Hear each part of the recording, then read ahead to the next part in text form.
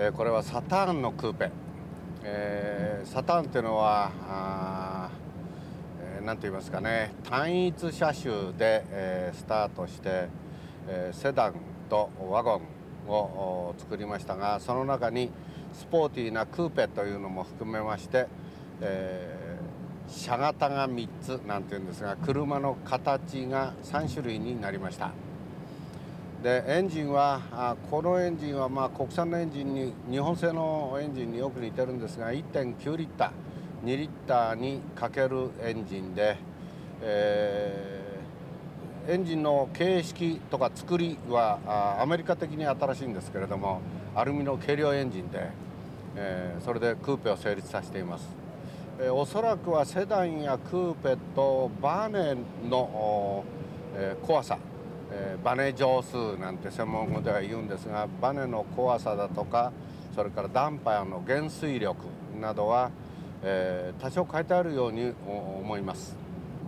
えー、足回りをやや固めにした分だけ、え、ステアリングの印象もこうシャープな感じに仕上がっていましてこれはおそらくタイヤの性能も含まれてのことであろうとは思いますが、えー、しかし、えー、これはこれなりに、えー、なかなかスポーティーな演出もしています。例えばレーンを今急いで変えてみます。で、えー、こんな風に、えー、変わります。でこの変わり方のレーンを変える身のこなしなんというのもちゃんとスポーツカーらしいスポーティーな演出がされて、えー、います、えー、デザインはアメリカ的デザイナーがアメリカの人たちに好まれるようにデザインしたという車で特に贅沢なものとは思えません、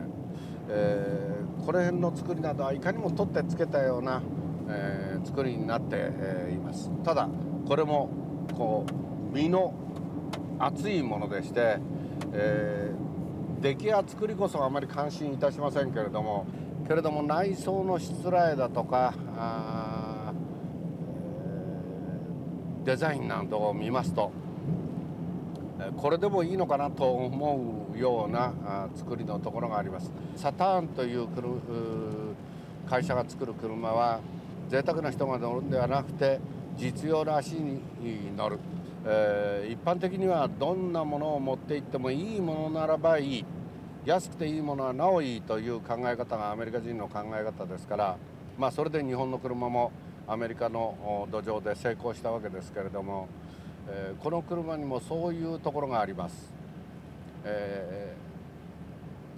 ー、アメリカのサンドイッチを見るような思いをいたします、えー、大きな、え、三角に切った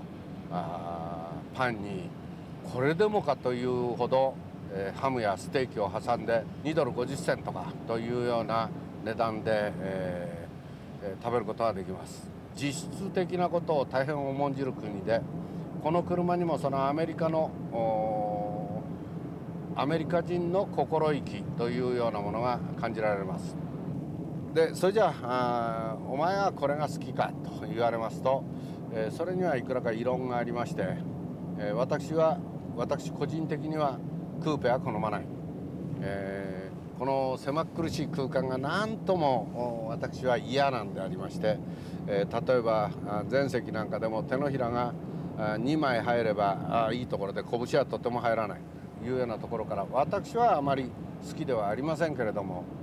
同じサターンでも人様が乗っているセダンやワゴンはもう私は嫌なのという人には案外、えー、この車に犬と一緒に乗るというのも悪くないんじゃないかというふうに思います。えー、とにかく実質的特に、えー、特に傑出した何かというようなものはないけれども強いて言うならば太平洋を越えてアメリカから日本へ持ってきて200万を切ってスポーティーなクーペが買えるということが強みといえば強みなんだろうというふうに理解できます。で乗ってみて、えー、何の不満もない。その代わり乗ってみて、えー、この車でなければ味わえない何かというのもない、えアメリカで一時フォルクスワーゲンのビートルが大変流行したことがありますが、えー、日本人が実質的な生活と実質的な価値というのを重んじるようになれば案外このサターンのような、え、考え方で作られた車に乗るのもいいかもしれないと思います。まあ、とにかくアメリカ人の考え方アメリカ人の好みアメリカ人の暮らしというのをこの車を通して見るのも、えー、まんざら無駄なことではないだろうと思います、えー、しかし日本に導入するのには少し時期が早すぎたかもしれませんね、えー、燃費のご報告を申し上げますと、えー、1015モードという運輸省の審査値では1リッターあたり11.4キロという数字が公表されています。我々があの悪コンディションの中高速道路と市街地を含めて約300キロ乗りました。その平均が9.3キロ1リッターあたり9.3キロでございました。燃料はレギュラー燃料です。騒音は時速100キロの時に音圧を測りますと70デシベルありましたこれは雨が降っていましたので雨の音それから道路の濡れた路面を叩く音で、えー、おそらくは2デシベルから3デシベルは音が大きくなっていると思います。それを引けば、えー、まずまずの静粛性だろうというふうに思いました。